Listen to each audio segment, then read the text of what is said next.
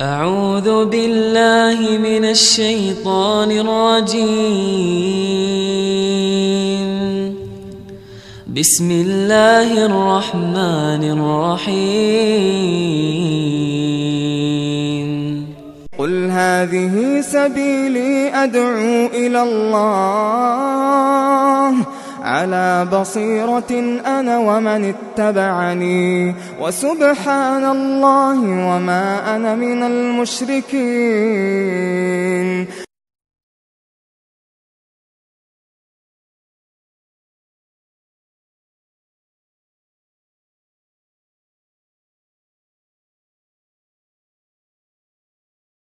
من شرور أنفسنا ومن سيئات أعمالنا من يهده الله فلا مضل له ومن يضلل فلا هادي له وأشهد أن لا إله إلا الله وحده لا شريك له وأشهد أن محمدا عبده ورسوله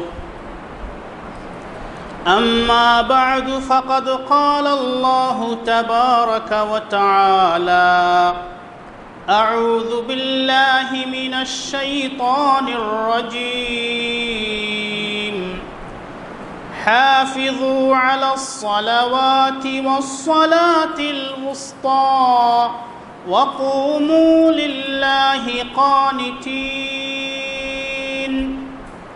وقال رسول الله صلى الله عليه وسلم إن أحدكم إذا قام في صلاته فإنما يناجي ربه أو كما قال عليه الصلاة والسلام. بارك الله لنا ولكم في القرآن العظيم. ونفعنا وإياكم بالآيات والذكر الحكيم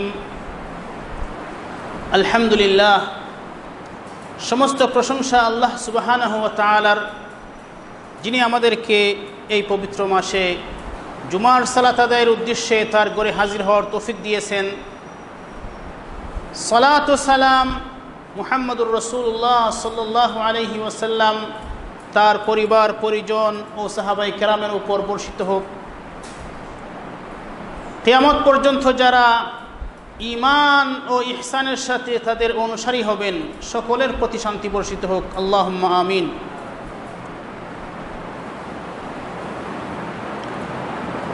আল্লাহ সুবাহ কোরআনুল করিমের সুরা আল বাকারার দুইশত আটত্রিশ নম্বর আয়াতে বলেছেন হাফিজু আলাসলাওয়াত তোমরা সালাত সমূহের হেফাজত করো। যথাযথভাবে গুরুত্ব সহকারে সালাত সমূহ আদায় করো। ওসলাতিল মুস্তা আর মধ্যের সালাতের হেফাজত করো। মদ্দর সালাত বলতে আসরের সালাত উদ্দেশ্য।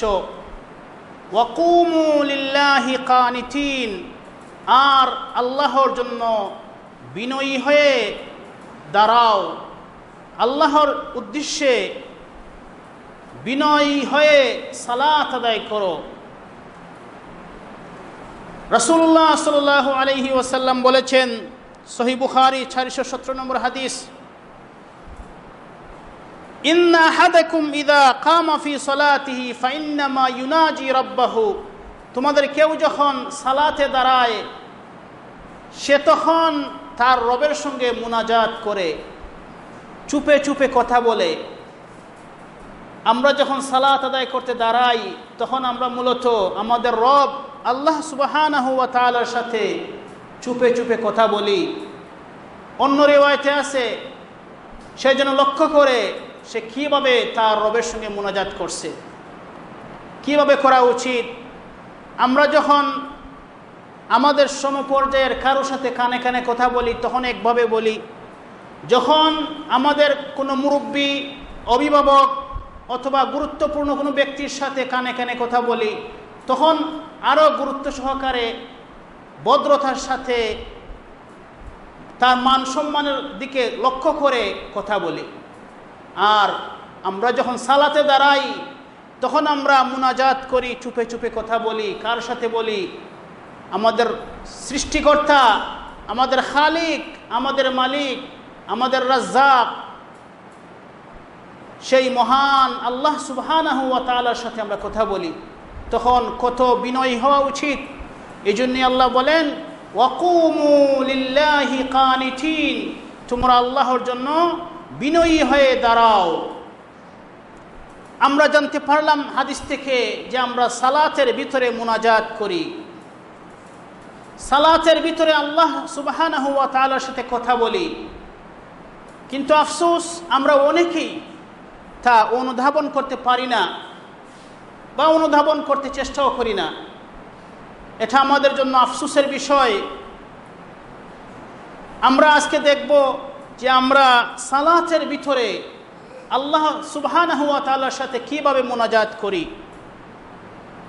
সহি বুখারি সাতশত চৌচল্লিশ নম্বর হাদিস ইসলামিক ফাউন্ডেশন সাতশো আট নম্বর হাদিসের মধ্যে রয়েছে আনাবি হুরায়রা রাদিয়াল্লাহু আনহু قال كان رسول الله صلى الله عليه وسلم يسكت بين التكبير وبين القراءة إسكاتة فقلت بأبي وأمي يا رسول الله إسكاتك بين بين التكبير والقراءة ما تقول قال أقول اللهم باعد بيني وبين خطاياي كما بعدت بين المشرق والمغرب اللهم نقني من الخطايا كما ينقى الثوب الأبيض من الدنس اللهم اغسل خطاياي بالماء والثلج والبرد আবু হুরায়রা রাদিয়াল্লাহু আনহু বলেন রাসূলুল্লাহ সাল্লাল্লাহু আলাইহি ওয়াসাল্লাম তাকবীরে তাহরিমা এবং কিরাতের পূর্বে বেশ কিছুক্ষণ সময় চুপ করে থাকতেন।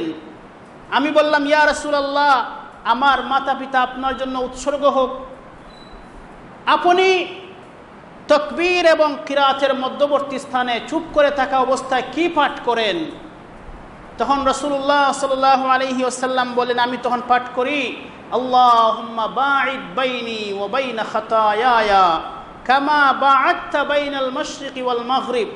হে আল্লাহ, আমার এবং আমার গুনাহের মধ্যে দূরত্ব সৃষ্টি করুন। যেমন দূরত্ব সৃষ্টি করেছেন পৃথিবীর পূর্ব থেকে পশ্চিম প্রান্তের। পৃথিবীর পূর্ব থেকে পশ্চিম প্রান্তের যে দূরত্ব, এমন দূরত্ব সৃষ্টি করেন আমার এবং আমার গুনার মধ্যখানে। এই একটা দোয়া। যদি এই একটা দোয়া কবুল হয়ে যায়, তাহলে কি হবে? আমাদের গুণা আমাদের আর কোনো ক্ষতি করতে পারবে না। গুণা কোথায় আর আমরা কোথায়? অনেক দূরে চলে যাবে গুণা দুই নম্বরে রসুল বলতেন আল্লাহ মিনাল খাতায়া। হে আল্লাহ, আমাকে গুনা খাতা থেকে পবিত্র করুন, পরিষ্কার, পরিচ্ছন্ন করুন। কামা আবয়াদু মিনাদ দানাস। যেভাবে সাদা কাপড়কে ময়লা থেকে মুক্ত করা হয় দৌত করা হয়, সাদা কাপড় যখন ময়লা হয়ে যায়, তারপরে যদি ভালোভাবে দৌত করা হয়, দেখা যায় আবার নতুন হয়ে গেছে, সাদা দবদবে সাদা হয়ে গেছে, সুন্দর হয়ে গেছে। আল্লাহ রসুল বলেন, হে আল্লাহ, আমাকে গুণা থেকে এইভাবে মুক্ত করুন, পরিষ্কার পরিচ্ছন্ন করুন, যেভাবে সাদা কাপড়কে ময়লা থেকে পরিষ্কার পরিচ্ছন্ন করা হয়। তিন নম্বরে আল্লাহ রসুল বলছেন আল্লাহ হে আল্লাহ, আমার গুণাসমূহ দৌত করুন, পানি দ্বারা, বরফ দ্বারা, শিশির দ্বারা।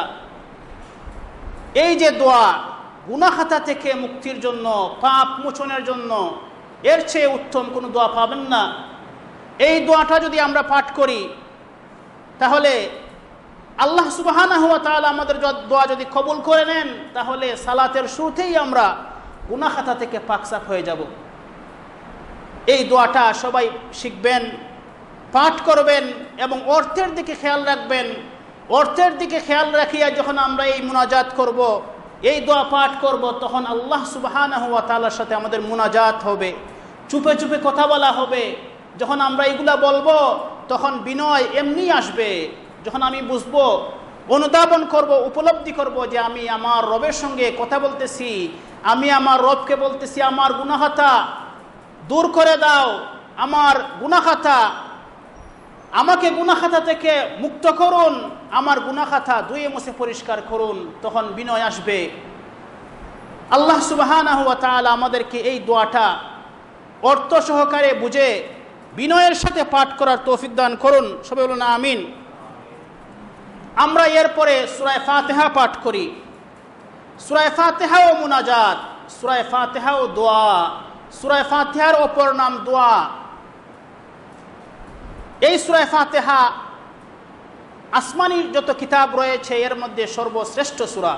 শুধু সুরায় এই শুধু কোরআনে কারিমের মধ্যে সর্বশ্রেষ্ঠ সুরা না, বরং আল্লাহ সুবাহান যত আসমানি কিতাব নাজিল করেছেন ওই সব কিতাবের মধ্যে যত সুরা রয়েছে সমস্ত সুরার মধ্যে সর্বশ্রেষ্ঠ সুরা হলো সুরায় ফাতিহা এই সুরায় ফাতিহার ফজিলত সম্পর্কে স্বয়ং আল্লাহ রাব্বুল আলামিন বলেন সুরায় হিজরের সাতাশি নম্বর আয়তে আল্লাহ তাআলা বলেন ولقد آتيناك سبعا من المثاني والقرآن العظيم হে রসুল সাল্লাহ আলহি ওসাল্লাম আমি আপনাকে বারবার পাঠনীয় বারবার পাঠনীয় ষাটটি আয়াত দান করেছি, মহান কোরআন দান করেছি।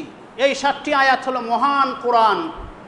কোরআনের বড় সুরা, এটাকে কোরআনের বড় অংশ বলা হয়েছে, মহান কোরআন বলা হয়েছে। সহি বুখারি চার হাজার চারশো চুয়াত্তর ইসলামিক ফাউন্ডেশন চার হাজার একশো উনিশ নম্বর হাদিসে রয়েছে, আবু সাইদ খুদ্রি রাজি আল্লাহ আনহু বলেন, আমি মসজিদের মধ্যে সালাত আদায় করতেছিলাম।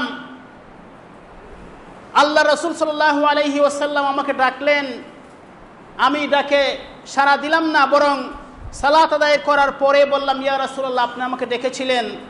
রাসুল বললেন হ্যাঁ ডেকেছিলাম। যখন ডেকেছি, তখন তুমি আসনি কেন? তখন আমি বললাম, ইয়া রাসুল্লাহ আমি তো সালাত আদায় করতেছিলাম। রাসুল বললেন, তুমি কি কোরআনে পাওনি যে হে ইমানদারেরা যখন আল্লাহ এবং আল্লাহ রাসুল ডাকেন, তার ডাকে সারা দেও? তারপরে আবু সাইদ খুদরিকে বললেন, মসজিদ থেকে বের হওয়ার পূর্বেই আমি তোমাকে কোরআনের সবচেয়ে বড় সুরা শিক্ষা দেব। আবু সাইদ খুদ্রি রাদি আল্লাহ আনহু বলেন, আমি দেখলাম আল্লাহ রসুল, আমরা হাত ধরে মসজিদ থেকে বের হওয়ার জন্য প্রস্তুতি গ্রহণ করতেছেন। অথচ আমাকে কোরআনের সুরা শিক্ষা দেননি। তখন আমি বললাম, ইয়া রসুল আল্লাহ আপনারা বলেছিলেন আমাকে কোরআনের বড় সুরা শিক্ষা দিবেন?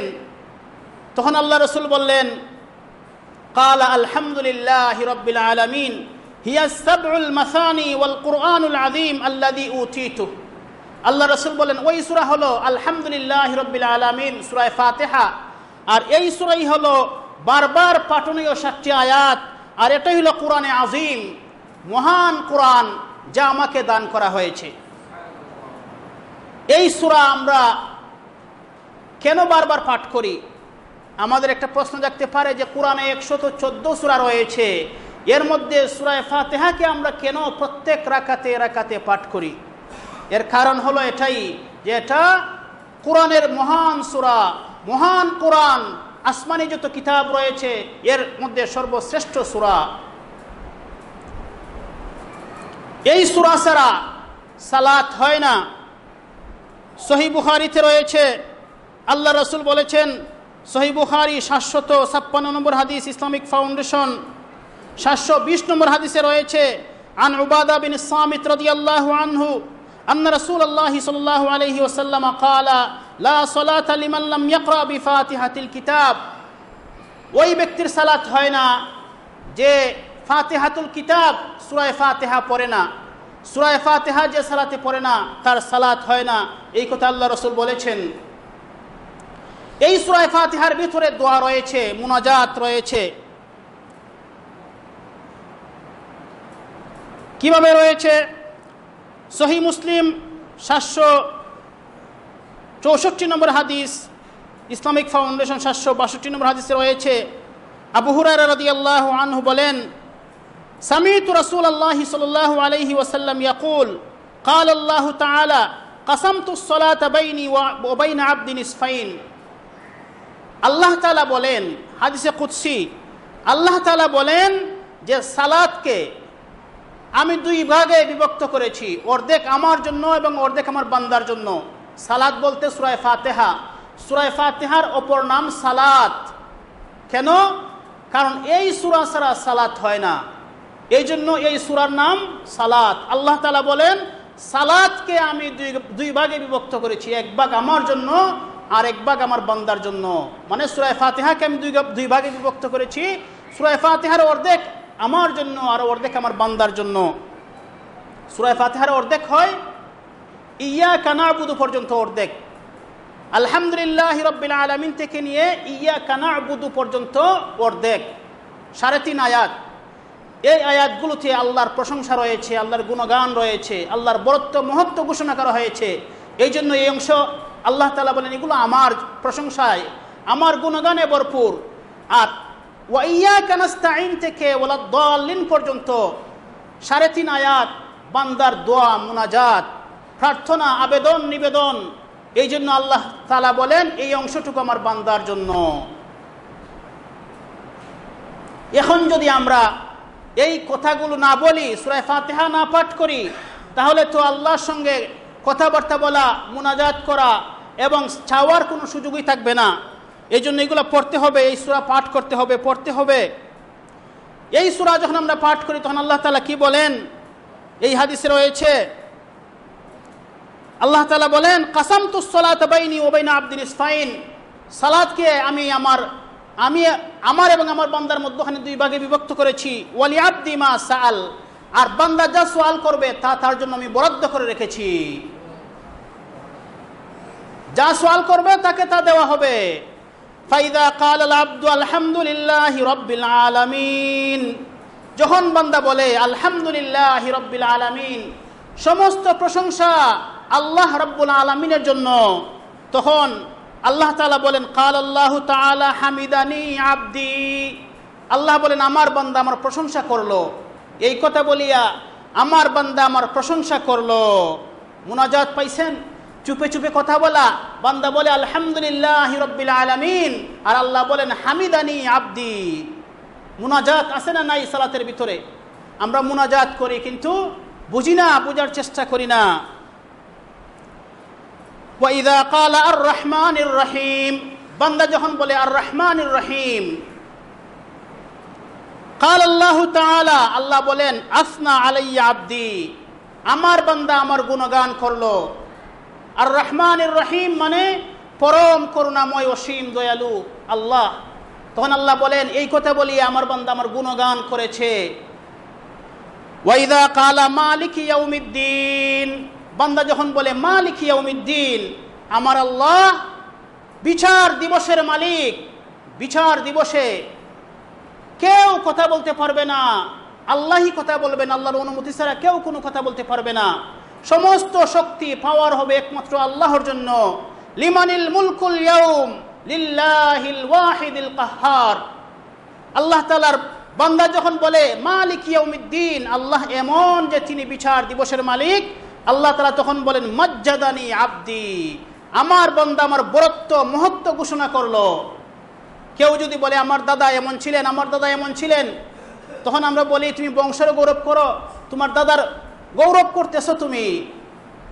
আর বান্দা যখন বলে, মালিক ইয়াউমিদ্দিন, আমার আল্লাহ এমন যে তিনি বিচার দিবসের মালিক। আল্লাহ বলেন, মজ্জাদানি আব্দি, আমার বন্দা আমার গৌরব করেছে। আমার বান্দা আমার গৌরব করেছে। ফাইদা কালা ইয়াকা নাবুদু ওয়া ইয়াকা নাস্তাইন যখন ইয়াকা নাবুদু ওয়া ইয়াকা নাস্তাইন বলে, এর অর্থ কি? হে আল্লাহ, আমরা একমাত্র আপনারই ইবাদত করি এবং একমাত্র আপনার কাছেই সাহায্য প্রার্থনা করি।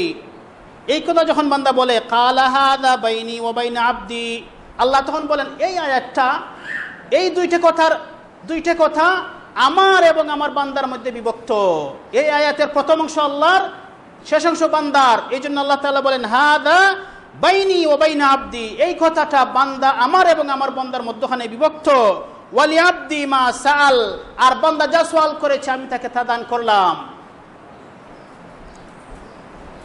فإذا قال اهدنا الصراط المستقيم صراط الذين أنعمت عليهم غير المغضوب عليهم ولا الضالين এই কথাগুলো যখন বান্দা বলে কালা হাদা লি আব্দি আল্লাহ বলেন এই সারাটাই আমার বন্দার ইহদিন সিরাতুল মুস্তাকিম হে আল্লাহ আমাদেরকে সরল সঠিক পথে পরিচালিত করুন সিরাতাল্লাযিন আনআমতা আলাইহিম তাদের পথে যাদের উপরে আপনি নিয়ামত দান করেছেন গাইরিল মাকদুবি আলাইহিম, তাদের পথে নয় যাদের উপর আপনার অসন্তুষ্টি। ওয়ালাদ্দাল্লিন তাদের পথেও নয় যারা পথভ্রষ্ট হয়েছে। আল্লাহ তাআলা তখন বলেন, হাদা লি আব্দি, এইগুলা সারাই আমার বন্দার সোয়াল। বন্দার জন্য এগুলো ওয়ালি আব্দি মাসাল আর বন্দার জন্য আমি তা বরাদ্দ করলাম, যা সে চাইল।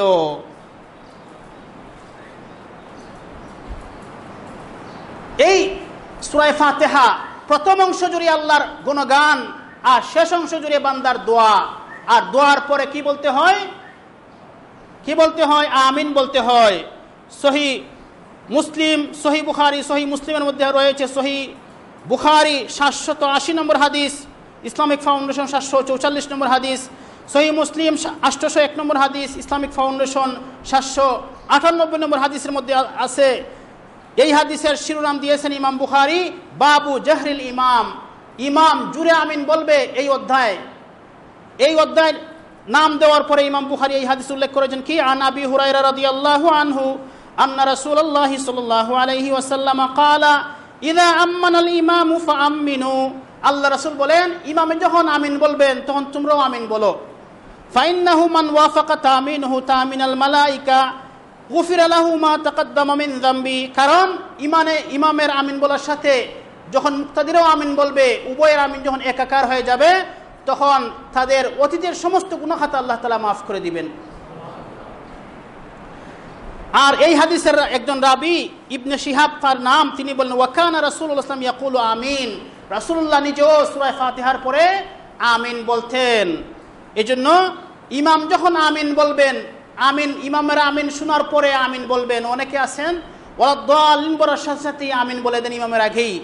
এইটি খেয়াল রাখবেন, ইমামে আমিন বলার পরে আমিন বলবেন। কেউ বলতে পারেন যে ইমামে যদি আমিন না বলে, তাহলে আমরা কি আমিন বলব না? তাহলে আপনার জন্য রয়েছে আরও একটা হাদিস সহি বুখারি, চারি হাজার চারশত পঁচাত্তর নম্বর হাদিস ইসলামিক তাহিদ পাবলিকেশনস এবং ইসলামিক ফাউন্ডেশন চারি হাজার একশত বিশ নম্বর হাদিসে আছে। আনাবি হুরাই রাদি আল্লাহ আনহান রসুল সাল্লাহ আলহি আসাল্লাম কাল ইদা কাল আল ইমাম গাইরুল মকদুবি আলাইহিমুলাদ্দাল্লিন ফাকুল আমিন। ইমাম যখন বলবেন, গাইরুল মকদুবি আলাইহিমুলাদ্দাল্লিন তখন তোমরা বলবে, আমিন। এখানে আল্লাহ রসুল ইমামের আমিন বলার জন্য অপেক্ষা করতে বলেননি, বলছেন, ইমাম যখন বলবে, গাইরুল মকদুবি আলাইহিমুলাদ্দাল্লিন ফাকুল আমিন তখন তোমরা আমিন বলবে। আমরা ইমাম কয় জাত পাইলাম? দুই জাতের ইমাম। এক জাতের ইমাম আছেন, যারা ওলাদ্দাল্লিনের পরে নিজে আমিন বলেন জুড়ে। তখন ওই ইমামের সাথে আমরা, তার আমিনের সাথে আমিন বলব। আর যে ইমাম আমিন বলেন না, আমরা তার গাইরুল মকদুবি আলহিমুল্লাহিনের পরে আমিন বলে ফেলব। এর দলিল রয়েছে সহি বুখারিতে। আল্লাহ রসুল বলেন, ফামান ওয়াফাকা কৌলহু কৌলুল মালাইকা গুফির আলাহু মা তাকাদ্দামা মিন যামবি। যার আমিন বলা, ফিরিস্তার আমিন বলার সাথে মিলে যাবে, তার অতীতের সমস্ত গুণাখাতা মাফ করে দেওয়া হবে। এই যে জমিনে আমিন বলা হয়, আকাশের ফিরিস্তারও আমিন বলেন। আকাশের ফিরিস্তারও আমিন বলেন, আকাশের ফিরিস্তার যখন আমিন বলেন, জমিনের মানুষও যখন আমিন বলে, তখন আল্লাহ সুবাহান তাল্লাহর রহমতের মধ্যে জুস এসে যায়। আল্লাহ সুবাহান তাল্লাহ বান্দার অতীতের সমস্ত গুণাখাতাকে মাফ করে দেন। আল্লাহ তালা আমাদেরকে বুঝে শুনে সালাত আদায় করার, মুনাজাত করার, সুরায় ফাতেহা পাঠ করার এবং সুরায় ফাতেহার শেষে আমিন বলার তৌফিক দান করুন। তারপরে আমরা অন্য সুরা পড়ি, তারপরে রুকু করি, রুকুর মধ্যে মুনাজাত রয়েছে, দোয়া রয়েছে। সহি মুসলিম নয়শত একষট্টি নম্বর হাদিসে রয়েছে, আল্লাহ রসুল বলেন ফাম্মার রুকু ফাদিমু ফিহির রব্বা আজ্জা ওয়াজাল রুকুতে রবের তাজিম করো। আমরা যখন মাথা ঝুঁকাই দেই, মাথা নত করে ফেলি আল্লাহর সামনে, কেন করি? আল্লাহকে তাজিম করার জন্য, সম্মান করার জন্য। আল্লাহ রসুল বলেন ফাম্মার রুকু ফাদিমু ফিহির রব্বা আজ্জা ওয়াজাল রব মহান রবের সম্মান করো তোমরা রুকুতে আর রুকুর তসবি কি সুবহান রব্বিয়াল আজিম মহাপবিত্র আমার মহান রব এই কথা তিনবার বলতে হয় কমপক্ষে উর্দে যতবার ইচ্ছা বলা যায় সহি বুখারি সাতশত চুয়ান্নব্বই নম্বর হাদিসে আছে عن عائشة رضي الله عنها قالت كان رسول كان النبي صلى الله عليه وسلم يقول في ركوعه وسجوده سبحانك اللهم ربنا وبحمدك اللهم اغفر لي عائشة رضي الله عنها বলেন আল্লাহ রসুল সাল্লাল্লাহু আলাইহি ওয়াসাল্লাম রুকুতে এবং সেজদাতে বেশি বেশি পাঠ করতেন কি সুবহানাক আল্লাহুম্মা রব্বানা ওয়া বিহামদিকা আল্লাহুম্মা ইগফিরলি সুবহানাক আল্লাহুম্মা হে আল্লাহ আপনার পবিত্রতা বর্ণনা করছি রব্বানা, হে আমার প্রভু ওয়া বিহামদিকা আপনার প্রশংসা সহকারে। আল্লাহুম্মা ইগফিরলি হে আল্লাহ, আমাকে ক্ষমা করে দিন। আল্লাহ রাসূল এই দোয়া পড়তেন, সুবহানাক আল্লাহুম্মা রব্বানা ওয়া বিহামদিকা আল্লাহুম্মা ইগফিরলি হে আল্লাহ, আমাকে ক্ষমা করে দিন, এই কথা রয়েছে। রুকুতেও এই দোয়া রসুল করতেন, সাজদাতেও এই দোয়া করতেন। তারপর হাদিসে আরও আছে আনাবি হুরার রাদিয়াল্লাহু আনহু আন্না রাসূলুল্লাহ সাল্লাল্লাহু আলাইহি ওয়াসাল্লাম قال اذا قال الامام سمع الله لمن حمدا فقولوا اللهم ربنا لك الحمد فانه من وافق قوله قول الملائكه غفر له ما تقدم من ذنبه বুখারি সাতশো ছিয়ানব্বই নম্বর হাদিসে রয়েছে আবু হুরার রাদিয়াল্লাহু আনহু বলেন রাসূলুল্লাহ সাল্লাম বলেছেন ইমাম যখন বলেন সামি আল্লাহু লিমান হামিদা তখন তোমরা বলো আল্লাহ রব্বানা লাকাল হামদ তখন ফিরিস্তারাও বলবেন আল্লাহ রব্বানা লাকাল হামদ। যার কথা, ফিরিস্তার কথার সাথে মিলে যাবে, তার অতীতের সমস্ত গুণাখাতা আল্লাহ তালা মাফ করে দিবেন। সামি আল্লাহ লিমান হামিদা অর্থ কি? আমরা জানি যে ইমাম সাহেব সালাতের প্রত্যেক উঠা বসায় আল্লাহ আকবর বলেন।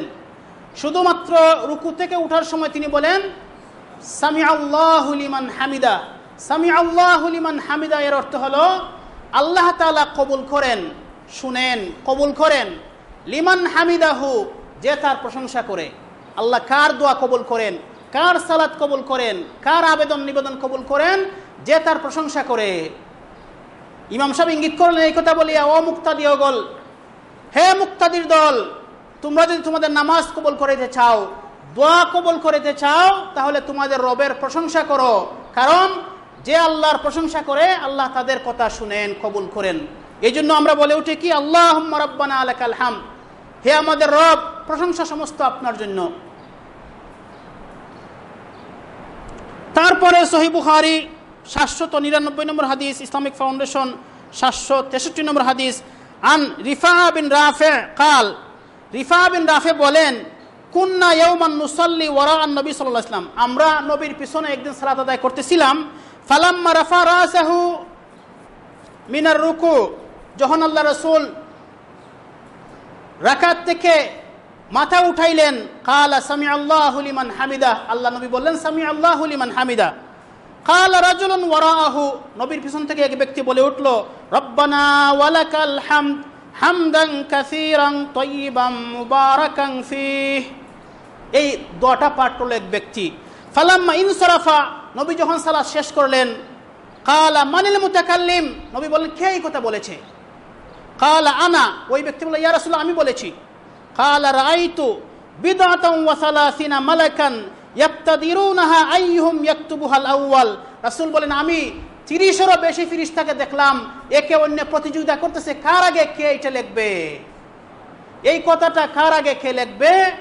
এর জন্য প্রতিযোগিতা করতেছে ত্রিশেরও বেশি ফিরিস্তা আমরা সামি আল্লাহ হামিদা, যখন ইমাম বলবেন, ইঙ্গিত করবেন আমাদেরকে যে আল্লাহ তালা তার দোয়া কবুল করেন, তার সালাদ কবুল করেন, আবেদন নিবেদন কবুল করেন, যে তার প্রশংসা করে। মানে তোমরা প্রশংসা করো আল্লাহর। তখন আমরা কি প্রশংসা করব? আমরা বলতে পারব এই কথা কি? রব্বানা আলাকাল হাম, হামদান কাসীরান তয়্যিবাম মুবারাকান ফীহি। তো দেখেন, সালাতের শুরু থেকে শেষ পর্যন্ত শুধু মুনাজাত আর মুনাজাত দোয়ার দোয়া, আছে না নাই? আমরা তো সালাতের পরে মুনাজাতের জন্য অপেক্ষায় থাকি। ইমাম সাহেব সালাম ফিরানোর পরে মুনাজাত কখন করবে?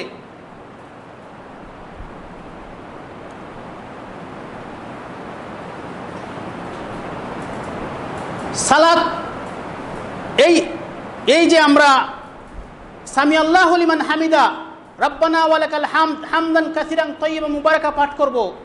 আমাদের অধিকাংশ মসজিদের অবস্থা হলো এমন যে এই লম্বা দোয়া পড়ার সুযোগই নাই।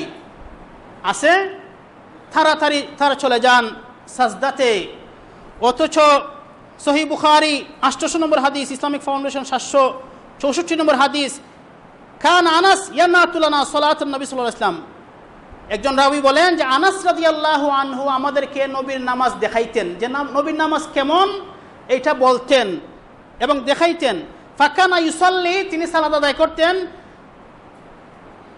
ওয়াইদা রুকু, আর যখন তিনি রুকু থেকে মাথা উঠাইতেন, খামা, এত সময় দাঁড়াইতেন, হাত্তা নাকুল নাকুল আকাদ নাসিয়া। আমরা বলতাম যে উনি দাঁড়াই যে আছেন শেষদা যাওয়ার কথা ভুলে গেছেন।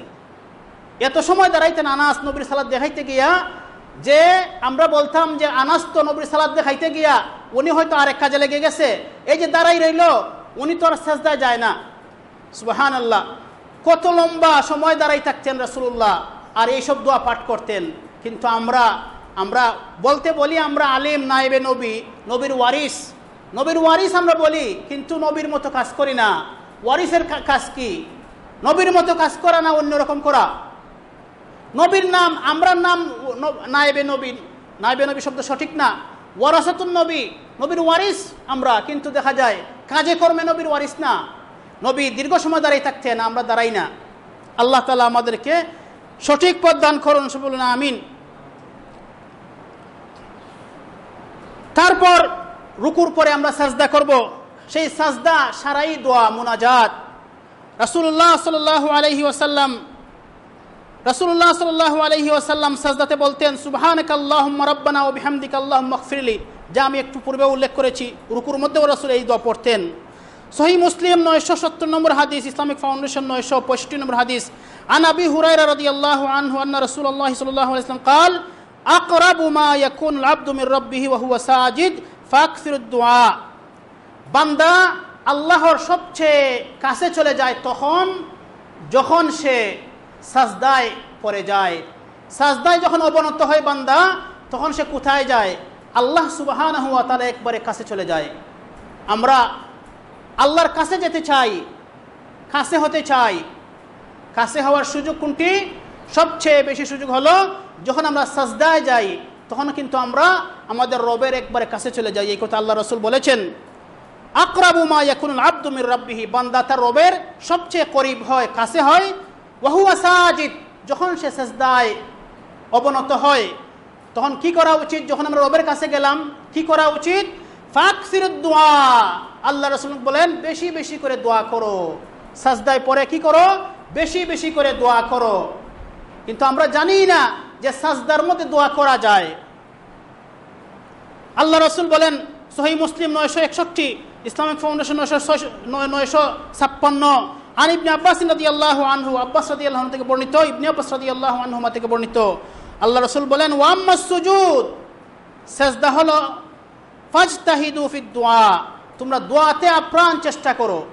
রুকুর মধ্যে বলছেন, রবের তাজিম করো আর সাজদার মধ্যে কি করো ওয়াম্মা সুজুদ, ফাজতাহিদু আদ-দুআ দোয়ার মধ্যে তোমরা মনোনিবেশ করো, দোয়াতে আপ্রাণ চেষ্টা সাধনা করো, দোয়া করার মধ্যে লেগে যাও। ফাকামিনুন আন ইউস্তাজাব লাকুম, কারণ সাজদার অবস্থায় তোমাদের দোয়া কবুল হওয়ার সম্ভাবনা খুব বেশি। দোয়া কবুলের সম্ভাবনাময় মুহূর্ত হলো কি? সাজদার অবস্থায় আল্লাহ রসুল বলেন, বেশি বেশি করে দোয়া করো। আর আমরা আলিমরা যদি জিজ্ঞাইন যে সাজদার মধ্যে কোনো দোয়া করা যাবে কি না, বলবেন, না, সুবহান রব্বি আল্লাহ আল্লাহ তিনবার ছাড়া আর কিছুই বলতে পারবে না। অথচ আল্লাহ রসুল বলেন, বেশি বেশি করে দোয়া করো, আমরা কোন পথে যাব? সহি মুসলিম নয়শো একাত্তর, ইসলামিক ফাউন্ডেশন নয়শো ছয়ষট্টি নম্বর হাদিসে আছে, আন আবি হুরাইরা রাদিয়াল্লাহু আনহু আন্না রাসূলুল্লাহ সাল্লাল্লাহু আলাইহি ওয়াসাল্লাম কানা ইয়াকুলু। আবু বলেন যে রাসূলুল্লাহ আসলাম বলতেন, ফি সুজুদিহি তার সেজদার মধ্যে। রাসূল সাল্লাল্লাহু আলাইহি ওয়াসাল্লাম সাজদার মধ্যে কি বলতেন? আল্লাহুম্মা গফিরলি যামবি কুল্লাহ, দিক্কাহু ওয়া জিল্লাহ, ওয়া আখিরাহ, ওয়া আলানিয়াতাহু ওয়া সিররা। আল্লাহু আকবার। আল্লাহ নবী মাসুম ছিলেন, নিষ্পাপ ছিলেন। আর তিনি বলতেন আল্লাহ মকফিরলি দাম্বি কুল্লা হে আল্লাহ আমার সমস্ত গুনাখাতা মাফ করে দিন। দিক্কাহু ওয়াজুল্লাহ আমার ছোট গুণা বড় গুণা সব মাফ করে দিন। ওয়াউলাহু ওয়া আখিরা। আগের গুণা পরের গুণা সব মাফ করে দিন। ওয়া আলা নিয়াতাহু ওয়া সিররা। প্রকাশ্য গুণা গোপন গুণা সব মাফ করে দিন। আল্লাহ নবী প্রকাশ্যে গোপনে কোনো সময় গুণা করেননি। আমরা প্রকাশ্যে গোপনে সর্ব অবস্থায় গুণা করতেছি, কিন্তু এরপরও আমরা এই কথা বলি না। এই কথা আমাদের বলা দরকার না দরকার না। আল্লাহ তালা আমাদেরকে তৌফিক দান করুন। আল্লাহ নবী সাজদার মধ্যে এইসব দোয়া করতেন, আরও অনেক দোয়া করতেন। সাজদা থেকে উঠিয়া দুই সাজদার মধ্যে ওখানে দোয়া আছে না নাই? আমরা অনেকে বলে দুই সাজদার মধ্যে কোনো দোয়া নাই। আর ভালোভাবে ধরলে বলে এটা মুস্তাহাব, করলে করতে পারো, না করলে গুণা নাই।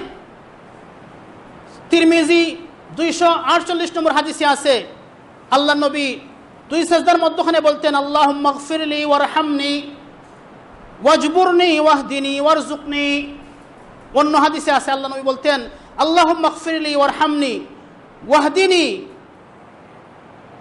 আল্লাহ মগফিরলি ওয়ারহামনি, ওয়াফিনি, ওয়াহদিনী ওয়ারজুকনি ওয়াজবুরনির জায়গায় ওয়াফিনি আছে, অন্য রয়তো আর এই হাদিসের মধ্যে আছে, ওয়াজবুরনি। যাই হোক, এখানের মধ্যে পাঁচটা দোয়া আছে, একের ভিতরে পাঁচটা দোয়া আছে। দুই সাজদার মধ্যখানে আল্লাহর নবী পাঁচটা দোয়া করতেন। এই পাঁচটা দোয়া করা যদি আপনি লাগেন তাহলে ইমাম সাহেব আপনাকে পালাইয়া, আপনাকে এখানে রেখে দুই সাজদায় চলে যাবে এবং দুই সাজদা থেকে উঠিয়া খাড়া হয়ে যাবে। এই অবস্থা। আল্লাহ মাহফিরলি আল্লাহ রসুল বলতেন, হে আল্লাহ, আমাকে ক্ষমা করে দিন। ওয়ারহামনি, আমাকে রহম করুন। ওয়াজবুরনি, আমার ক্ষতিপূরণ করে দিন। ওয়াহদিনী, আমাকে হেদায়ত দান করুন। ওয়ারজুকনি আমাকে রিজিক দান করুন। এই পাঁচটি দোয়া গুরুত্বপূর্ণ কিনা? গুরুত্বপূর্ণ না। আল্লাহ মাহফিরলি হে আল্লাহ আমাকে ক্ষমা করে দিন। যদি আল্লাহ আমাদেরকে ক্ষমা করে দেন, তাহলে আর জাহান নামে যেতে হবে না। হবে? আমরা যদি জাহান নামে যাই, কেন যাব? গুনার কারণে। আর ওই গুণা যদি আমরা সালাতের মধ্যে আল্লাহ মখফিরলি বলিয়া ক্ষমা করে নিতে পারি, তাহলে কি হবে? আমরা জাহান্নাম থেকে রেহাই পেয়ে যাব। দুই নম্বর দোয়া ওয়ার হামনি হে আল্লাহ আমাকে রহম করেন, আমাকে অনুগ্রহ করেন। যদি আল্লাহ তালা আমাদেরকে অনুগ্রহ করেন, তাহলে আমরা জান্নাতে যেতে পারব। আর যদি অনুগ্রহ না করেন, রহমত না করেন, তাহলে কি জান্নাতে যেতে পারব? পারব না। আল্লাহ নবী বলেন আমি নিজেও পারব না, আমার আমল দিয়া।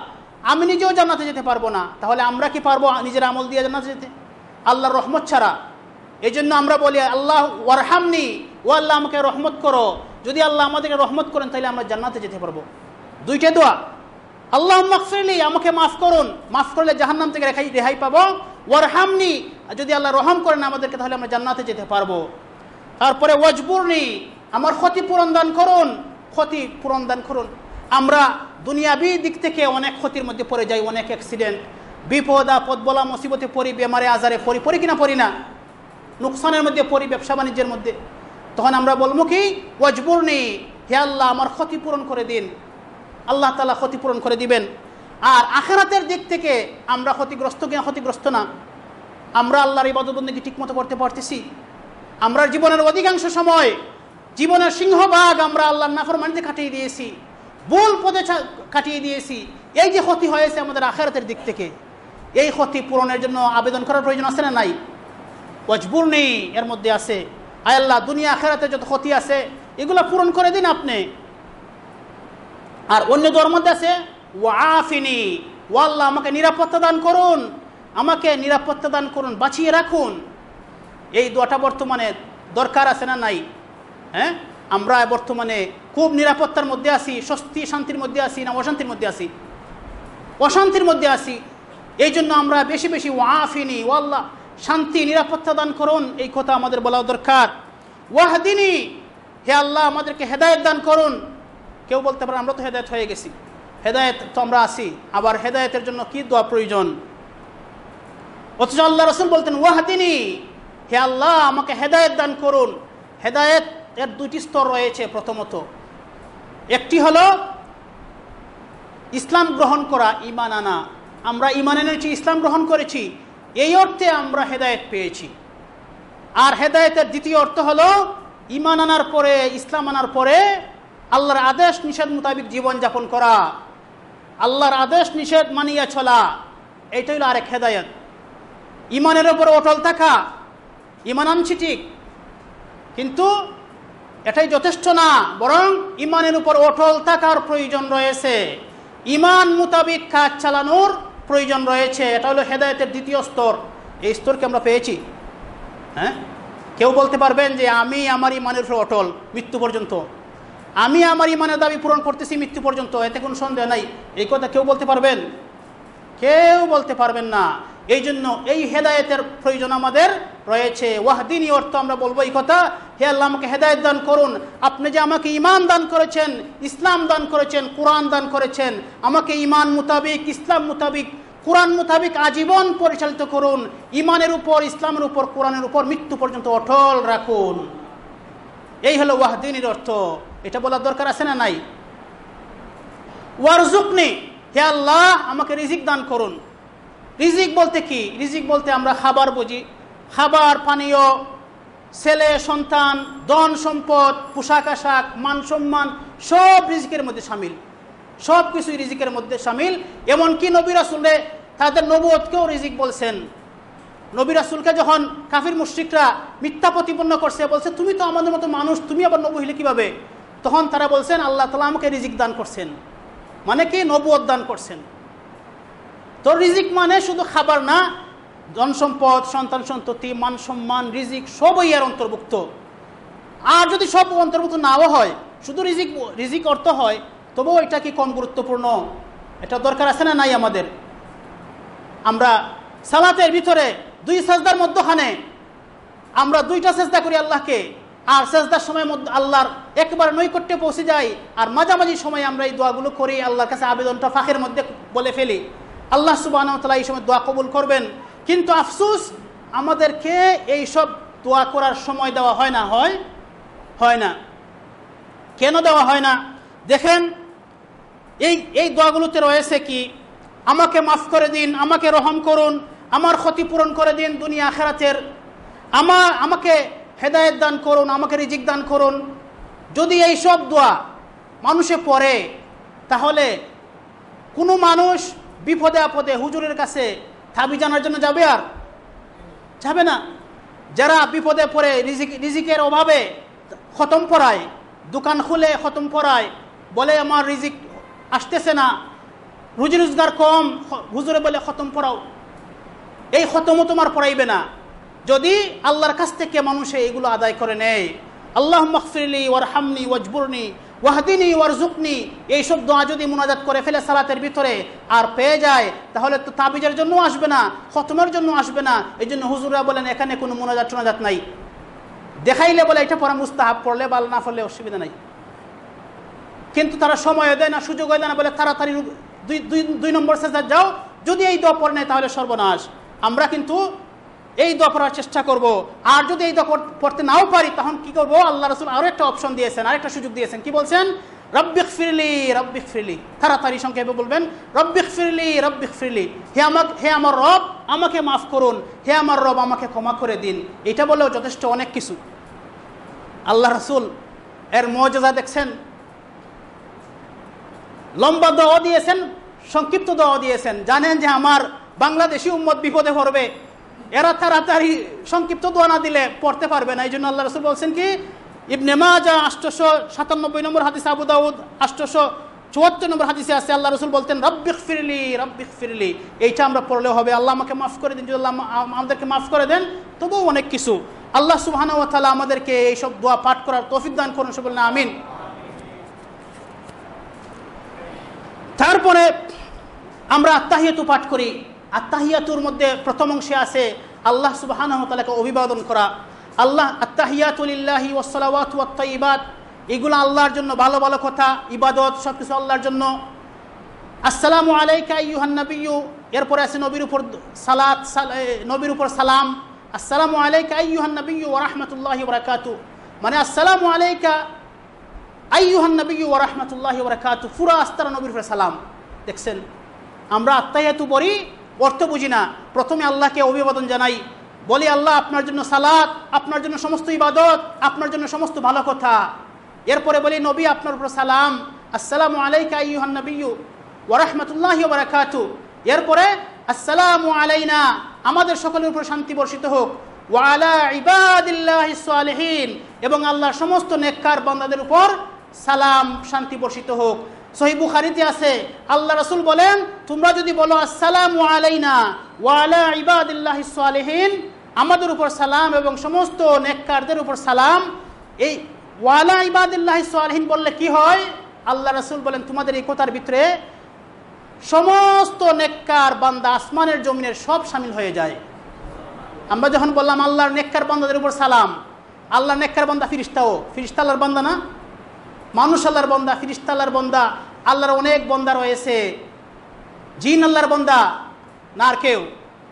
আল্লাহ রসুল বলেন, তোমরা যখন বলো, আসসালামু আলাইনা ওয়ালা ইবাদুল্লাহ সালেহীন তোমাদের এই কথার এই কথার দ্বারা সালাম পেয়ে যান সবাই আসমানের জমিনের। এমনকি আদম আলাহ ইসলাম থেকে নিয়ে কেমন পর্যন্ত যত মানুষ আসবেন, সবাই এই সালামের অন্তর্ভুক্ত হয়ে যান।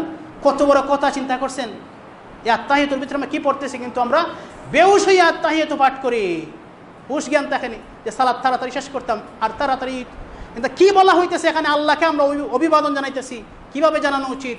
নবীকে সালাম জানাইতেছি। আল্লাহর সমস্ত নেককার বান্দাকে সালাম জানাইতেছি আমরা। এরপরে কলিমা বা ইসলামের কলিমা প্রথম বাণী কি? আশহাদু আল্লাহ ইলাহা ইল্লাল্লাহ ওয়াশহাদু আন্না মুহাম্মাদান আবদুহু রাসূলু পাঠ করতেছি। আত্মাহিতুর ভিতরে কত গুরুত্বপূর্ণ কাজ। নবীকে সালাম জানানোর পরে আমরা নবীর প্রতি সালাদ পাঠ করি। আল্লাহ সাল্লি আলা মোহাম্মদ পাঠ করি। এটা দোয়া। এরপরে আল্লাহ রসুল বলেন সহি মুসলিম, বারোশো এগারো নম্বর হাদিস আনাবি হুরাই রদি আল্লাহ আনু কাল, ইদা তাশাহাদ আহাদুকুম ফালিয়াস্তাইদ বিল্লাহি মিন আরবা। তোমাদের কেউ যখন শেষ বৈঠক করবে, তখন সে যেন চারটি জিনিস থেকে, চারটি মন্দ থেকে আল্লাহর নিকট আশ্রয় প্রার্থনা করে। আল্লাহ রসুল আদেশ দিয়েছেন, চারটি মন্দ জিনিস থেকে আল্লাহর কাছে আশ্রয় প্রার্থনা করা, দুরুদের পরে আত্মাহিয়তু দুরুদের পরে। কি? সে যেন বলে, আল্লাহ নবী শিখাইতেছেন দোয়া আল্লাহ ইন্নি আউযুবিকা মিন আযাবি জাহান্নাম, ওয়া মিন আযাবিল কবর ওয়া মিন ফিতনাতিল মাহইয়া ওয়াল মামাত, ওয়া মিন শাররি ফিতনাতিল মাসিহিদ দাজ্জাল। আল্লাহ নবী বলেন, এই এই চারটি জিনিস যেন, চারটি জিনিস থেকে যেন সে আল্লাহর কাছে আশ্রয় প্রার্থনা করে এবং এই এই কথা যেন সে বলে। ইবনু আব্বাস বলেন আল্লাহর নবী আমাদেরকে এই চারটি বস্তু থেকে আশ্রয় প্রার্থনার দোয়া এইভাবে শিখাইতেন, যেইভাবে তিনি আমাদেরকে কোরআনের সুরা শিখাইতেন। কোরআনের সুরা যেভাবে শিখাইতেন, এইভাবে এই দোয়াটা শিখাইতেন। কিন্তু আচ্ছা বলেন তো, আমরা আমরা তো মক্তবে পড়েছি, মাদ্রাসায় পড়েছি, আমাদের উস্তাদরা কি এই দোয়া শিখে, শিখাইছেন আমাদেরকে? যে দুরুদের পরে, আর আল্লাহ মানে জলান্ত নফসির আগে এই দোয়াটা পড়তে হয়, এই শিখাইছেন আমাদের আমাদের মাদ্রাসা আছে, মক্তব আছে আপনারা খোঁজ নিয়ে দেখেন এইগুলা পড়ানো হয় কিনা। অথচ আল্লাহ নবী বলেছেন এইগুলা, এই সে যেন এইগুলো বলে। ইবনু আব্বাস বলেন, আমাদেরকে এইভাবে শেখানো হইতো যেভাবে কোরআনের সুরা শেখানো হয়। এখানের মধ্যে আছে কি? এক নম্বর আছে আল্লাহ আদাবি জাহান্নাম। হে আল্লাহ, আমি আপনার কাছে জাহান্নামের আজাব থেকে পানা চাই। দরকার আছে না না এই কথা বলার? হ্যাঁ? জাহান্নামের আজাব ইন্না আদাবাহা কানা গারামা। এই জাহান্নামের আজাব থেকে পানা চাই। এই কথা বলা দরকার, আল্লাহ নবী বলেন, সেজন্য বলে, তার উচিত হলো এই বলা আল্লাহ আউদুবিকা মিন আদাবি জাহান্নাম। হে আল্লাহ, আমি জাহান্নামের আজাব থেকে আপনার কাছে পানা চাই, আশ্রয় চাই। ওয়ামিন আদাবিল কাবরি, কবরের আজাব থেকে পানা চাই। কবর হলো আখেরাতের গাঠি সমূহের মধ্যে সর্বপ্রথম গাঠি। ঠিক না ঠিক? প্রথম গাঠি হলো কবর। আল্লাহ নবী বলেন, এই গাঠিতে যে নাজাত পাবে, সমস্ত গাঠিতে নাজাত পাবে। আর এই গাঠিতে যে আটকা পড়বে সবটা আটকা পড়বে। এই জন্য কবরের আজাব হলো ভয়ঙ্কর। উসমান নদী আল্লাহ আনহুক কবর জিয়ারাত করতেন আর ওখানে গিয়ে এত খাটতেন যে উনার দাড়ি ভিজে যেত। মানুষে বলতো, উসমান, আপনি নবীর সামনে কত হাদিস শুনেন, বয়ান শুনেন, কাঁদেন না। আর কবরের পাশে আসলে এত বেশি কাঁদেন কেন? তখন তিনি বলতেন, যে আমি শুনেছি, নবী বলেছেন, কবর হলো আখেরাতের গাঠি সমূহের মধ্যে প্রথম গাঠি ওই গাঠিতে যে নাজাত পাবে, বাকি সব গাঠি নাজাত পাবে। ওই গাঠিতে নাজাত পাবো কি না পাবো না, এই কথা মনে করে আমি কাঁদি। আর আল্লাহ নবী আমাদের শিক্ষা দিয়েছেন, কবরের আজাব থেকে পানা চাওয়ার জন্য। কিন্তু আমরা এই তো পড়ি না। আল্লাহ, এই দোয়া যদি আমরা পড়ি, কবুল হয়ে যায়। কবুল হবে? কেন হবে না? আমরা তো আল্লাহরই বান্দা। আল্লাহই তো আমাদেরকে সৃষ্টি করেছেন। আল্লাহ আল্লাহ রাসুল শিক্ষা দিয়েছেন, আমরা যেন বলি আল্লাহ মিন আদাবি জাহান্নাম। ওমিন আদাবিল কবর ওমিন ফিতনাতিল মাহিয়া ওয়াল মামাত তিন নম্বর হলো দুনিয়ার জীবনের এবং মরণের ফিতনা থেকে আল্লাহ তোমার কাছে পানা চাই। ইয়া আল্লাহ জীবনের মরণে, জীবনে মরণে যত ফিতনা রয়েছে, সমস্ত ফিতনা থেকে পানা চাই। আমরা আজকে ফিতনার যুগে বসবাস করতেছি। এই ফিতনার যুগে ফিতনা থেকে পানা চাওয়ার দরকার আছে না নাই? আমাদের জীবনে অনেক ফিতনা, পরীক্ষা আসতেছে। আপদ বিপদ বলা মুসিবত অ্যাক্সিডেন্ট আসতেছে। এগুলো থেকে পানা চাওয়ার জন্য আল্লাহ নবীর দোয়া শিক্ষা দিয়েছেন। কি? অমিন ফিতনাতিল মাহিয়া, হায়াতের ফিতনা থেকে, ওয়াল মামাত এবং মৌতের ফিতনা থেকে। হায়াতের ফিতনা হলো আমরা যা দেখতেছি। আপদ, বিপদ বলা মুসিবত সব কিছু আর মামাত, মৌতের ফিতনা। মৌতের ফিতনা বলতে কি? মৌতের সময় ফিতনা আছে নাকি? হ্যাঁ। মৌতের সময় ফিতনা আছে। মৌতের সময় শয়তান আসে, আসিয়া মানুষকে ইমান থেকে বিচ্যুত হওয়ার জন্য আপ্রাণ চেষ্টা করে শয়তান আজীবন মানুষের পিছনে হাঁটে, তাকে গুণাগার বানানোর জন্য, তাকে ইমান থেকে সরানোর জন্য। আর মৌতের সময় শয়তান বলে, এখন একটা শেষ যাত্রা দেও। সর্বশেষ চিকিৎসা করো তার। যদি এখন তাকে ইমান থেকে হটাইতে পারো, তাহলে কাজ হয়ে গেল। এই জন্য মৌতের গাঠি কঠিন গাঠি ওই সময় ইমানের উপর অটল থাকার জন্য আল্লাহর কাছে এই দোয়া করা উচিত। ওমিন ফিতনাতিল মাহিয়া ওয়াল মামাত। আল্লাহ হায়াতে, মামাতে যত ফিতনা রয়েছে, এর থেকে আপনার কাছে পানা চাই। অমিন শাররি ফিতনাতিল মাসিহিদ দাজ্জাল। আর মাসিহে দাজ্জাল, দাজ্জালের ফিতনা থেকে পানা চাই। আল্লাহ রাসূল বলেছেন, দাজ্জাল বের হবে এবং দাজ্জালের বের হওয়া এবং তার কুকীর্তি হবে। এই ইতিহাসের, বিশ্ব ইতিহাসের সবচেয়ে জঘন্য দুর্ঘটনা, পৃথিবীর ইতিহাসে সবচেয়ে বড় দুর্ঘটনা হবে দাজ্জালের আবির্ভাব হওয়া দাজ্জালের ফিতনা। ওই ফিতনা থেকে আল্লাহর কাছে পানা চাওয়া আল্লাহ নবী এই দোয়া শিখাইছেন। আল্লাহ সুবাহ তালা আমাদেরকে এইসব দোয়া করার তৌফিক দান করুন সে বললেন আমিন। তারপরে সালামের আগে দোয়া কবুলের সময়, সালাতের শেষ অংশ, এখানে দোয়া কবুল হয়। বেশি বেশি দোয়া করা উচিত। সহি বুখারি আষ্টশো চৌত্রিশ, ইসলামিক ফাউন্ডেশন সাতশো পঁচানব্বই নম্বর হাদিসে আছে, এই উম্মতের সর্বশ্রেষ্ঠ ব্যক্তি আবু বকর সিদ্দিক, সবাই বলেন আল্লাহ আনহু তিনি নবীর সামনে আসলেন, আসে বলেন ইয়া রসুল আল্লাহ কাল আল ইসলাম আল্লিমনি দুয়ান আদ্রুবিহি বি সালাতি। নবীকে বললেন, আবু বকর সিদ্দিকে, ইয়া রসুল আল্লাহ আমাকে একটা দোয়া শিক্ষা দেন, যেই দোয়াটা আমি আমার সালাতে করব। তখন আল্লাহ রসুল বলছেন, কুল, আপনি বলেন আল্লাহ ইন্নি দলাম তুনফসি জুলমান কাসিরা ওয়ালা ইয়াগফিরু যুনুবা ইল্লা আনতা, ফাগফির লি মাগফিরাতাম মিন ইনদিকা, ওয়ারহামনি, ইন্নাকা আনতাল গফুরুর রহিম। আল্লাহর নবী আবু বকর সিদ্দিককে এই দোয়া শিক্ষা দিয়েছেন। আর তিনি আমাদের উম্মতের মুরব্বী। এই মুরব্বীকে যে শিক্ষা দিয়েছেন, ওই শিক্ষাটা আমাদের জন্য প্রযোজ্য। আমরাও এই দোয়া পড়ব আল্লাহ ইন্নি জলাম তু নফসি অর্তল হে আল্লাহ, আমি আমার নিজের উপর জুলুম করেছি, জুলমান কাফিরা অনেক অনেক জুলুম করেছি। ওয়ালা আর আমার এই পাপ, জুলুম ক্ষমা করার কেউ নেই আপনি ছাড়া। আল্লাহ ছাড়া গুনাহ মাফ করার কোনো ক্ষমতা আছে কারও? কারও ক্ষমতা নাই, কিন্তু অনেক গান বাজনার মধ্যে শোনা যায়। তারা বলে যে গুনার বোঝা নিয়ে তারা বাবার কাছে যায়, মুর্শিদের কাছে যায়, আর মুর্শিদকে বলে ক্ষমা করে দেওয়ার জন্য। এমন গান শুনছেন আপনারা? আমি নিজে শুনছি। গান আছে। যে মুর্শিদ, তুমি গুণা আমার ক্ষমা করো, তুমি আমার ক্ষমাকারী। নাউজুবিল্লাহ। অথচ আল্লাহ রসুল এই দোয়া শিক্ষা দিয়েছেন, ওয়ালা আপনি ছাড়া গুনাহ মাফ করার কেউ নেই। অতএব আমাকে মাফ করে দেন। মাগফিরাতান, এমন মাফ ইন, ইমিন ইনদিকা আপনার পক্ষ থেকে। আপনার পক্ষ থেকে বিশেষ ক্ষমা আমাকে দান করুন। বান্দা বলতেছে, ওয়াল্লাহ, আমি এত গুণা করছি, এত গুণা করছি। এইসব গুণা থেকে মুক্তির ব্যবস্থা নাই। আপনি যদি মুক্তি না করেন, আর এত গুণা করছি আমি, আপনার হাঁস একটা ক্ষমা রয়েছে, বিশেষ ক্ষমা রয়েছে। সেই বিশেষ ক্ষমা দিয়ে আমাকে ক্ষমা করুন। ওয়ারহামনি, আর শুধু ক্ষমা করলে হবে না। ক্ষমা করলে হবে না। কি করেন? ওয়ার হামনি আমাকে রহম করেন, অনুগ্রহ করেন।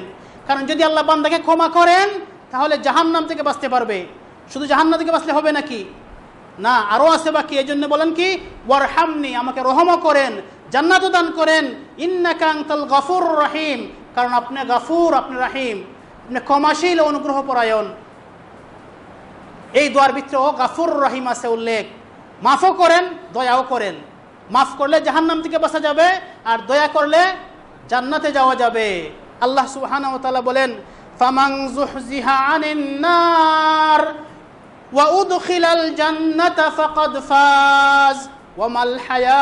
দুনিয়া ইল্লা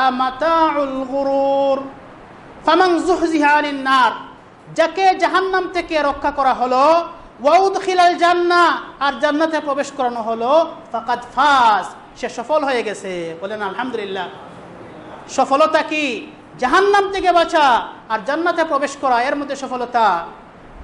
তো আমরা তো মনে করি চেয়ারম্যান হওয়া, তারপরে এমপি হওয়া, মন্ত্রী, প্রাইম মিনিস্টার হয়ে যাওয়া, এগুলো সফলতা। বড় বিজনেসম্যান হয়ে যাওয়া, বিলিয়ন বিলিয়ন টাকার মালিক হয়ে যাওয়া, এগুলো সফলতা। আল্লাহ বলেন, ওমাল হায়াতুদ দুনিয়া ইল্লা মাতাউল গুরুর। দুনিয়ার জীবনে যত সফলতা দেখো তোমরা দুঃখা ছাড়া আর কিছুই না। দুঃখা, সব দুঃখা। আপনার এই পদ, মন্ত্রিত্ব, এমপিত্ব, কিছু থাকবে না। দুনিয়াতেই বিলীন হয়ে যায়, দেখছেন আপনারা? অর্থ সম্পদ দুনিয়াতেই বিলীন হয়ে যায়। আর যদি দুনিয়াতে বিলীন না হয়, তাহলে মৌতের সময় তো এগুলো পরেই থাকে। এই জন্য আল্লাহ তালা বলেন ফামাং জুহজিহা আনিন নার ওয়াউদখিলাল জান্নাতা ফাকাদ ফাজ। যাকে জাহান্নাম থেকে রক্ষা করা হলো আর জান্নাতে প্রবেশ করানো হলো, সে হলো সফল কাম। ওমাল হায়াতুদ দুনিয়া ইল্লা মাতাউল গুরুর। আর দুনিয়ার জীবন তো দুঃখা ছাড়া আর কিছুই না। আল্লাহ সুবহানাহু ওয়া আমাদেরকে যথাযথভাবে গুরুত্ব সহকারে পাঁচ অক্তের সালাত, বিশেষ করে আসরের সালাত আদায়ের তৌফিক দান করুন। আমরা যে সালাতের ভিতরে মোনাজাত করি, যেন আমরা বুঝতে পারি এবং বুঝে শুনে যেন আল্লাহর সাথে মোনাজাত করি এবং আমরা যেন এটা উপ- উপলব্ধি করতে পারি যে আমরা সালাতে দাঁড়াইয়া আল্লাহর সঙ্গে মোনাজাত করতেছি, তাহলে আমাদের অন্তর সালাতের সঙ্গে লাগবে। নতুবা সালাতের মধ্যে লাগবে না। অনেকেই বলেন, হুজুর, সালাতে তো মন বসে না। আরে মন বসবে কেমনে? আপনি কি করতেছেন, কি বলতেছেন যদি না বুঝেন, তাহলে সালাতের মধ্যে মন বসবে কীভাবে? সালাতের অর্থ বোঝা, দোয়ার অর্থ বোঝা এবং আল্লাহর সঙ্গে আমি কথা বলতেছি। এই জ্ঞান রাখিয়া যখন আমরা সালাত আদায় করব, তখন সালাত হবে সুন্দর। এই সালাত আমাদেরকে অশ্লীল কার্যকলাপ থেকে রক্ষা করবে। অনেকে বলে, নামাজও পড়ে, আবার মিথ্যা কথাও বলে। আল্লাহ সুবাহতাল্লাহ বলেছেন ইন্নাসলাতা তানহা আনিল ফাহশাই ওয়াল মুনকার। নিশ্চয় সালাত মানুষকে ফাঁসা এবং মুনকার থেকে, নির্লজ্জ কাজ থেকে এবং মন্দ কাজ থেকে দূরে রাখে। কিন্তু দেখা যায়, আমাদের সালাদ আমাদেরকে নির্লজ্জ কাজ থেকে দূরে রাখে না। কেন রাখে না? আমরা যে কি বলতেছি আল্লাহর সামনে দাঁড়িয়ে কিছুই বুঝি না। আল্লাহ রসুল বলেন, জহিলাত কুররাতু আইনি ফিসলা আমার চোখের শীতলতা আমার নয়ন জোড়ায় সালাতে। আমাদের নয়ন জোড়ায় কিসে? সালাতে। না, আমরা তো সালাতে দাঁড়াইলে মুসিবতে পড়ি। অথচ আল্লাহ রাসুল বলেন, আমাদের নবী বলেন, জহিলাত কুর্রাতু আইনি ফিসলা সালাতে আমার নয়ন জোড়ায় আমার নয়নের শীতলতা রাখা হয়েছে সালাতের মধ্যে। যদি আমরা অর্থসহ সালাদ বুঝে শুনে আদায় করি তাহলে দেখব কত শান্তি সালাতের ভিতরে আল্লাহ তালা আমাদেরকে বুঝে শুনে সালাত আদায়ের তৌফিক দান করুন আকুল কাউলি হাদা ওয়া আস্তাগফিরুল্লাহ লি ওয়া লাকুম ওয়া লিসাইরিল মুসলিমিন ফাস্তাগফিরুহু ইন্নাহু হুয়াল গফুরুর রহিম আস্তাগফিরুল্লাহ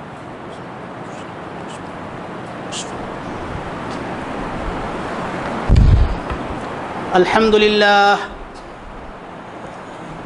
الحمد لله نحمده ونستعينه ونستغفره ونؤمن به ونتوكل عليه ونعوذ بالله من شرور أنفسنا ومن سيئات أعمالنا من يهده الله فلا مضل له ومن يضلل فلا هادي له وأشهد أن لا إله إلا الله وحده لا شريك له وأشهد أن محمدا عبده ورسوله أما بعد فإن أحسن الحديث كتاب الله وخير الهدي هدي محمد صلى الله عليه وسلم وشر الأمور محدثاتها وكل محدثة بدعة وكل بدعة ضلالة وكل ضلالة في النار.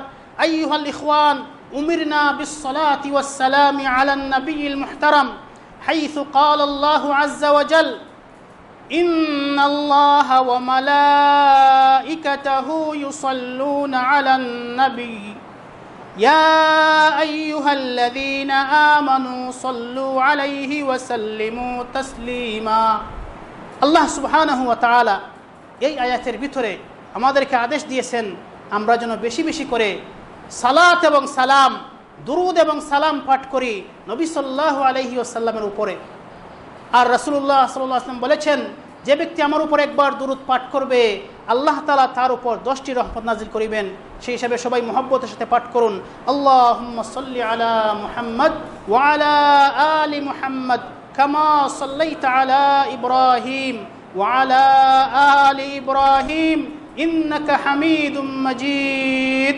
اللهم بارك على محمد وعلى آل محمد كما باركت على إبراهيم وعلى آل إبراهيم إنك حميد مجيد.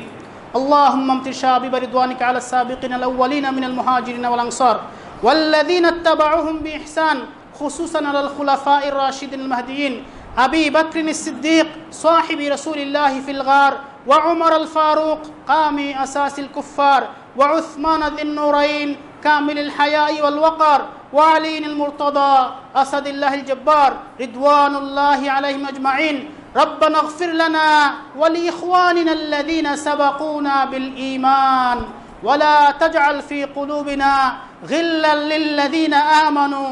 ربنا إنك رؤوف رحيم. يا حي يا قيوم. আমাদের অতীতের সমস্ত গুণাখাতাকে মাফ করে দিন। ইয়া আল্লাহ, আমরা আরবি বছরের শেষ প্রান্তে উপনীত। ইয়া আল্লাহ, আমাদের এই বছরে আমাদের অতীতের সমস্ত গুণাখাতাকে মাফ করে দিন। ইয়া আল্লাহ, যত গুণা করেছে, সমস্ত গুণাখাতা মাফ করে দিন। ইয়া আল্লাহ, আমাদেরকে বাকি জীবন তোমার পথে চলার তৌফিক দান করুন। আয় আল্লাহ, আমাদের দ্বারা নেক আমল করার তৌফিক দান করুন। আয় আল্লাহ, গুনার কাছ থেকে আমাদেরকে দূরে রাখুন। ইয়া আল্লাহ, আমাদের মধ্যে অনেক অসুস্থ আছেন। সবাইকে শিফা দান করুন। আল্লাহ আপনার দারু শিফা থেকে শিফা দান করুন। আয় আল্লাহ, আমাদের বাড়ি ঘরে যারা অসুস্থ আছেন, তাদেরকেও শিফা দান করুন। আল্লাহ মাশফি আন্ত শাফি, লা শাফিয়া ইল্লা আন্ত, লা শিফা ইল্লা শিফাউক শিফা লা ইউগাদিরু সাকামা। ইয়া আল্লাহ ইয়া আল্লাহ, যারা আমাদেরকে কুলে কাখা নিয়েছেন, আদর যত্ন করেছেন, অনেক আছেন, কবরবাসী হয়ে গেছেন। আয় আল্লাহ, আমাদের মাতা পিতা যাদের নাই, সমস্তকে মাফ করে দিন।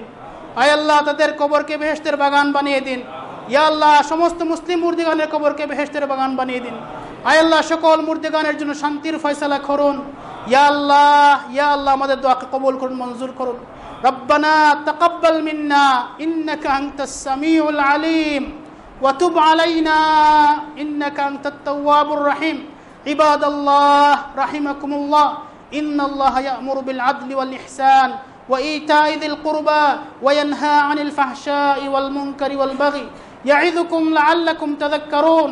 اذكروا الله تعالى يذكركم وادعوه يستجب لكم. ولذكر الله أكبر. واقم الصلاة. إن الصلاة كانت على المؤمنين كتابا موقوتا.